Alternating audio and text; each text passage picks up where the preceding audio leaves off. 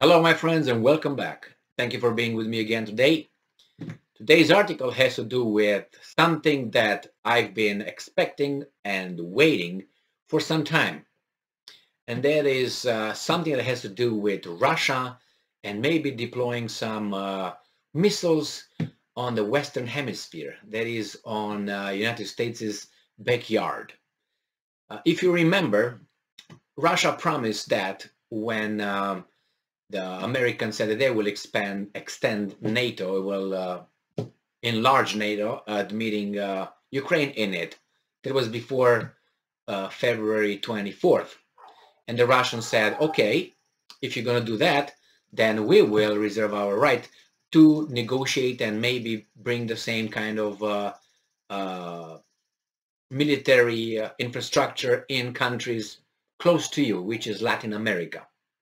The Americans dismiss this like like they always do because they seem to live in a I'm talking about the the guys in charge like they live in a cuckoo land in a different uh, uh, dimension which is seem to be uh, overwhelmingly immersed into ideology and um, just uh, outside of reality. That's how I see it. It's a delusional way of seeing reality. It's kind of like the way uh, some, um, how should I put it, uh, some monarchies see the life. They see differently than the regular people, let's put it this way. Uh, so, or a billionaire or someone born in a wealthy family and never had to go and buy groceries. Uh, this is kind of how I see sometimes the leadership in the United States viewing things that are clearly not the way they look at them. And it's not that we are right and they are wrong because we are smarter, but it's like it's obvious just looking around us and they can't see that. It's just something that just passes by them. So in this case, if you remember, um, Russians said they will do what they will do, and this is probably the timing. If you remember, or if you know, the Summit of America takes place in Los Angeles, California, and um, Nicaragua was not invited, together with uh, Venezuela and with Cuba. So this article is from Associated Press from June 9, 2022, and this is the title. Nicaragua authorizes entry of Russian troops, planes, ships. So, the government of Nicaragua, President Daniel Ortega, has authorized Russian troops, planes and ships to deploy to Nicaragua for purposes of training, law enforcement and emergency response. You know what that is? Great. In a decree published this week and confirmed by Russia on Thursday, Ortega will allow Russian troops to carry out law enforcement duties, humanitarian aid, rescue, and search mission in emergencies or natural disasters. The Nicaraguan government also authorized the presence of small contingents of Russian troops for exchange of experience and training. Russian Foreign Ministry spokesman, sp spokeswoman Maria Zakharova told the Russian news outlet Sputnik that the measure was routine. and uh, let me translate that for you. Authorize the presence of small contingents, just enough to be able to um, work some um, missile launching systems, some rockets. All right, we are talking about a routine, twice a year, procedure for the adoption of a Nicaraguan law on the temporary admission of foreign military personnel to its territory in order to develop cooperation in various areas, including humanitarian and emergency responses, combating organized crimes and drug trafficking, Zakharova said. Do you believe that? Yes, I believe that because it's just euphemisms. Nothing from what's over there, probably just a facade. I guarantee you that. And you know why? Because we're going to hear a very, very violent verbal, at this time, response from the United States because they're not going to buy this. They know exactly what's going on over there. They're, oh, okay, guys, you can go over there and take care of the law enforcement and drug dealings, you know, catch the bad dudes and yeah, help people over there if it rains too much and you know that's uh, a mudslide and so on. You help them. Yeah, okay. Thank you very much, Russia and Russian military. okay, all right. You buy that? Me neither.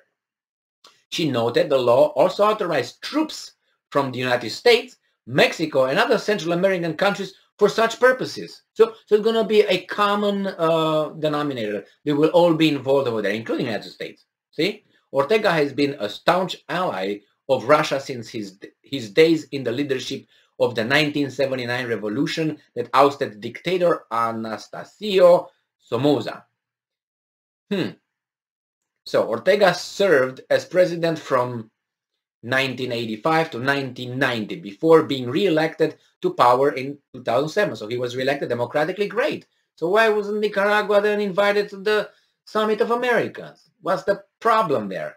Ortega's government arrested dozens of politician opposition leaders, including most of the potential presidential candidates in the months before his re-election to afford consecutive terms last year. Oh, that's why. his government has shut down dozens of non-governmental groups that have accuses of working, he accuses of working on behalf of foreign interests possible to destabilize his government. Oh, that's a regime change, an orange revolution.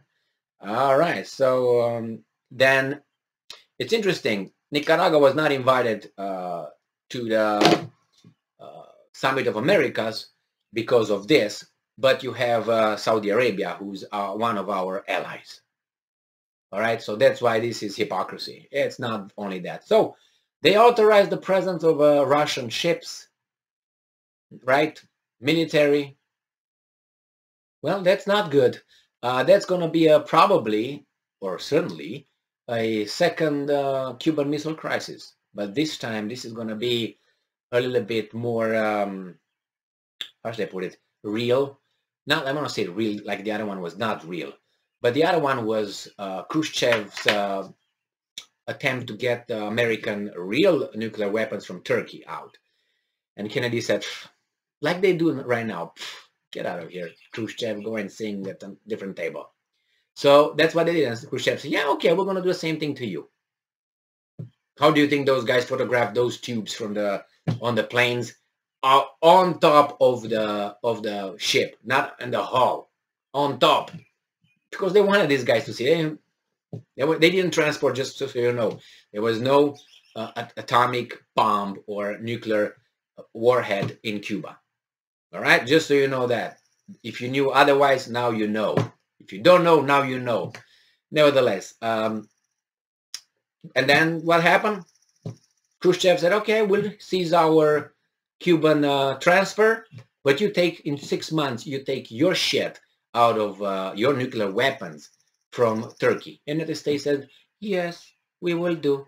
And that's how Khrushchev supposedly blinked. well, if you know the whole story, it's not that, uh, yeah, man, we did it. Yeah, we won. All right. So there you have it. Uh, and this is just the first one. This is Nicaragua. I expect other countries to do the same thing, at least two more. And this is why the new uh, club is forming. This is another proof the new club is expanding because they're sick with the big club that right now rules the world. Or he's there and tells everybody how immoral they are and how they should run their countries and what they should do. Otherwise, you place sanctions, embargoes, regime change, and orange revolutions. Well, that's uh, how do you call it? Uh, United States did it did this on its own. You want Ukraine? Now you have Nicaragua. And not only that, we'll find out what's next. Thank you very much for being with me again today. Stay strong, stay smart, look for the truth, and be just.